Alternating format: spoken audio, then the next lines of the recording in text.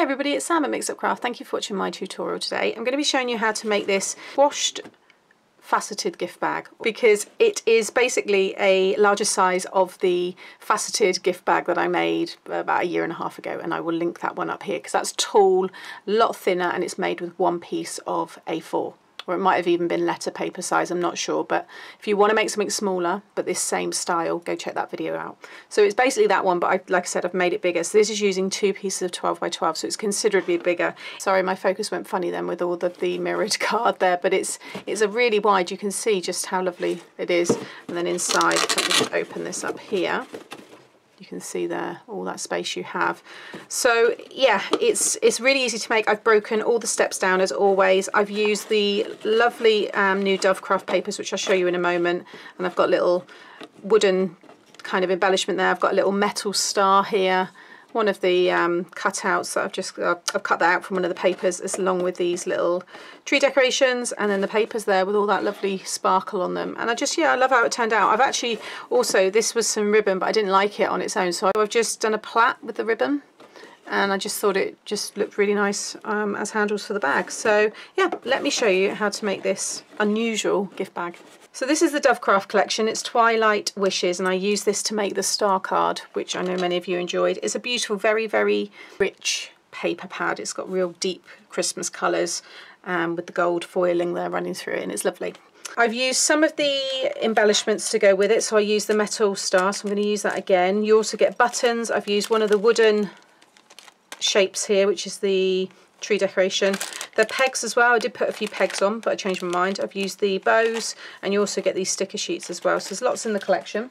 And then I used for the embossing on this one here, which is that woven basket look, and that is using the woven basket. This is the 3D embossing folder by Gemini, Crafter's Companion. I will link it below, it's lovely, really, really nice one. But for this one, I'm using this here, which is a, I want to say it's an X-cut, it might be Do Crafts. It says design objectives. I've got a feeling it might be Do Crafts. Again, I'll try and find some links to it. But it's just this unusual pattern. I just quite liked it, so that's the one I'm using today. So I've gone ahead and done all of that kind of stuff off camera because you don't need me to, you don't need to see me do that. I've also done one side. So this is what we're going to be aiming to achieve. You're going to have two pieces that look like this. So that's that one all ready to go.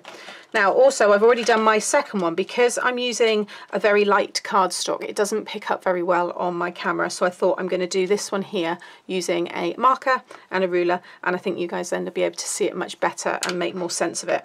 So you want two pieces of 12 by 12 card. If it's directional pattern, make sure it's facing the right, right way up now. So the first score line you're going to do is at 11 and a half, okay, all the way down. You're also then going to put a little notch with your stylus at five and three quarters, okay, just there. But for the purposes of the video, I'm also just going to put a little black mark there, okay. I'll probably go over this line in a minute as well if you see that change, just so you can really see where all the score lines are. Then rotate it and you want to score at three and one eighth of an inch and six and a quarter. Okay. Pop it back again into the original orientation.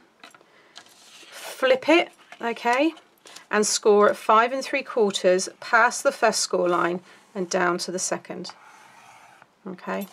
And then flip it back again. What you can then do is go over that. It's just easier than getting a ruler out and hovering your stylus over here before you get to that first score line. But that way, you know, it's not going to damage your cardstock and then you've got your score lines in the right direction. Okay, so that's all the scoring you need to do with the scoreboard. Okay, so I've just gone over those score lines, so that's what you want to have at the minute. Next, what we're going to do is we're going to score from here, the centre of this bottom piece, to the score line there, and from there to the top there okay? Again I'm going to use my pen but you will be scoring this. So you want to use a metal ruler and a stylus and just score your score line there. Okay? Then you're going to score from your pencil mark or your notch from there to there and there to there Okay, so that's now what you should have. Then you want to do one score line just in this triangle here. Don't do it in that one. I'm just using my T-square ruler because it's good that I can just use it to make sure the ruler's straight because I just line it up along the top of the cardstock. But you want to do a score line from the centre of this cross here just to the top. Remember these are all score lines. Now if you want to do a template like that as well then you can do. I will take a picture of this and I'll put it on my blog. Okay. Then you want to fold and burnish all of the score lines. So you will be able to fold all of these score lines, okay, even all of these, and I'll show you that in my one in a moment.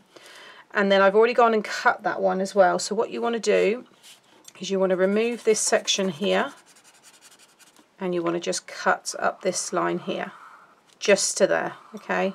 I'll do it a little bit darker. I'm going to show you my one in a second, but I just think it's much clearer for you to see on here what you will have. So you're going to cut just up there and you're going to remove that section there. Everything else you want to burnish. Okay, I'll hold it there so you can just pause the video. Right, so here is my one. So you can see now where I've folded all of my score lines and burnished them. You can go down this one here up to that point, okay, because it won't go all the way through. It just needs to go up to there. You can see I've cut that bottom piece and I've just removed that one. Take a little wedge off of that piece as well just to take off any, you know, so you don't get anything overhanging. So you want to have two pieces like this. Next you want to cut your decorative paper. So you're going to need four pieces of three and seven eighths of an inch and these are going to go like this. Now you can only stick one down on each piece because the next one will go across here and it will go across the join when everything's put together. So stick one down just like I've done here and keep the other one to the side okay? Because you will stick that one down. You can see I've got this one ready because that's going to join here and then we will stick that there okay? So you'll have those spare. That's my two spares there and that one is going to stick there. Then you want four pieces that are three and three quarters squared because these are going to go in all these triangles so with these pieces here so again you'll have four I've already stuck mine onto the other piece pop them in a diamond orientation and just cut from point to point okay so once you've done this on all four pieces, you'll have eight triangles. And those eight triangles will cover all of these triangles. So you're not, apart from where you scored, that one there, you won't put nothing in. To be fair, you can if you want. If you want to decorate that, then you'll want to do another, um, well, just another two of this size, but you'll probably have to go smaller again and then cut through there. So you've got separate triangles because you wouldn't want to just stick that there. It'd be too much kind of bulk when you fold it, but you could certainly do two separate ones. But these ones are going to go, one's going to go here, one's going to go there, one's going to go there. Hold on, I want to make sure I get this right because I think I've put it together. No, so you don't want to do that one. So you don't want to do what I've done with that one there. Ignore that because I'm going to go over that again now. So actually you only need three because you're going to have that when we put that one together like so and then that one will go over the other side that's just off the, the camera there but you should if I just bring this along you can see how it's going to look okay so you should just have three unless you're going to do smaller triangles these ones here so I'm going to stick down all you want to be sticking is that okay so ignore you'll have one of these left over where you've cut that. So you could cut that in half and fill it in there. So anyway, I'm going to go and stick all these ones down.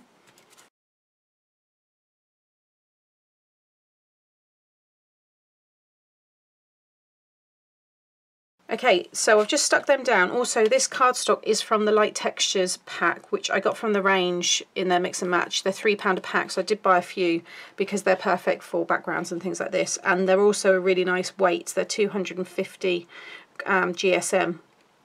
So that's with this, which is 160. This is the paper, I think. Oh, 150. I wasn't far off. I'm getting really good at guessing my weights now. Um, and then mixed with the, the Collall glue in between. This has become very, very strong. Um, so, so yeah, it is a very nice, strong gift bag.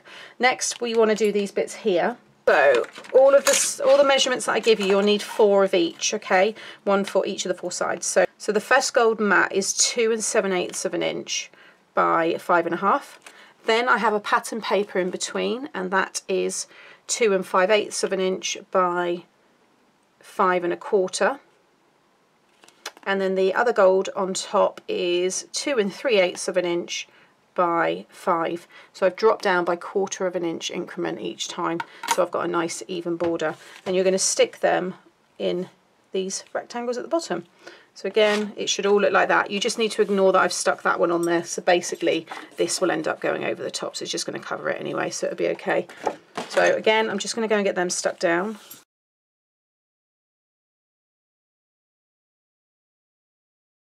Okay, so you will now have two pieces like that because you would have already cut all of this as well. Next we want to stick them together, so I'm just going to grab my glue and pop it along this tab here. And then I'm just going to sit this over the top. Always make sure your base score line is lined up. That's the most important one because you can always trim the top if need be, but you won't be able to correct it if the base isn't lined up. So I'm just going to push that up a little bit. I'm just going to fold that under, that way I can check that I do have it. It's quite hard to see this cardstock. I'm going to add glue to this one Now usually you can fold your gift bags in half again but because we've got this diamond through the middle you basically have to just lift your tab up and then drop this down on top and it should all square off nicely. Just spend a minute, just make sure that you get that perfectly all lined up. Okay, so I think we're okay. So I'm just going to open this up. And you want to make sure that you've got it squared off at the bottom, okay? Get that into place first. And then what's going to happen is the two sides where you scored down the triangle, you want to push so they're inside like that. That will then become the top. And make sure that this is all squared off. Everything else will start to fall into place. And what I would say is kind of push these diamonds in so they kind of curve inside there just slightly. You see they've ever so slightly got a curve. Make sure you got that on all of them and the whole box will just fall into place okay? And then we'll get the, the base secure because that's the most important part. And once that's kind of like I said all squared off everything else will fall into place. So now the base will just kind of overhang each other by quarter of an inch okay? So you always want to well decide what you want to be the front. I'm going to have this one because I, just in case that doesn't line up properly. So this is going to be the front for me. So I'm going to fold in these two first and I'm just going to run a little bit of glue down there just so that grips onto that and then I'm going to put glue all on these two sides here and then we're also going to reinforce it and cover it with some more decorative paper because you'll see usually we have a piece of cardstock that's the whole kind of size of your base to cover. But because of the way I've done this and I didn't want to have to you know I wanted it to be this size this is the, how I had to do the base so. But it's good because you can certainly put something you know pretty heavy in this. Um, because of the way it's been made and because we're going to obviously reinforce it. So we're going to cut another piece of cardstock to sit perfectly over that and also inside if you want, that's optional. You could also lay down some very heavyweight cardstock or chipboard. Again, that will just help um, reinforce it if you do have something quite heavy to go inside. So I'm just making sure all that glue is spread out. So pop those two sides. So always make sure they're in. I mean, you could have them out. Again, it does give it a different look. That's the look you get. So if you've got your triangles, if you did end up covering them, there's you know no reason why you can't have it that way. You know, I like that a lot of the bags I do, you can you can change the look just by you know doing something as simple as this, folding it in or out. But I want to keep mine in because I just I love that shape. Then with these other two pieces that you will have, one is going to stick on there. Okay and that just brings it all together. And then for me the other one will go on the back. And hopefully yeah it should cover that one perfectly. So I'm going to stick those both down. Okay so I've got away with the back there and there is the front. Okay I've got some of these handles here which I just saved from some of my bags. And what I'm going to do is just add a couple of holes.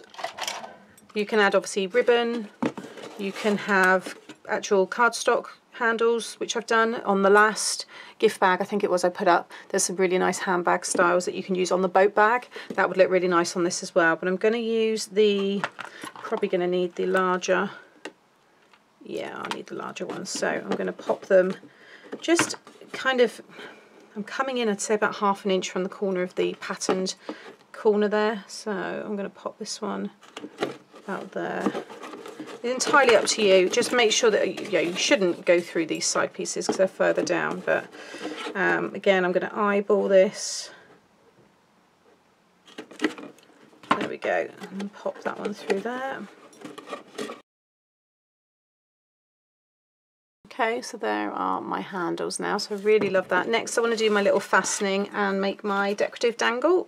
Okay, so I forgot to push record, but don't worry, you haven't missed anything. So I've stuck down the, well, you've missed me stick this down, and I've also stuck my base. So these, the square inside there is five and five and five eighths of an inch squared. So I've got one in there and I've got one on the base. Okay, so it's nice and strong. So there's three layers of cardstock there now.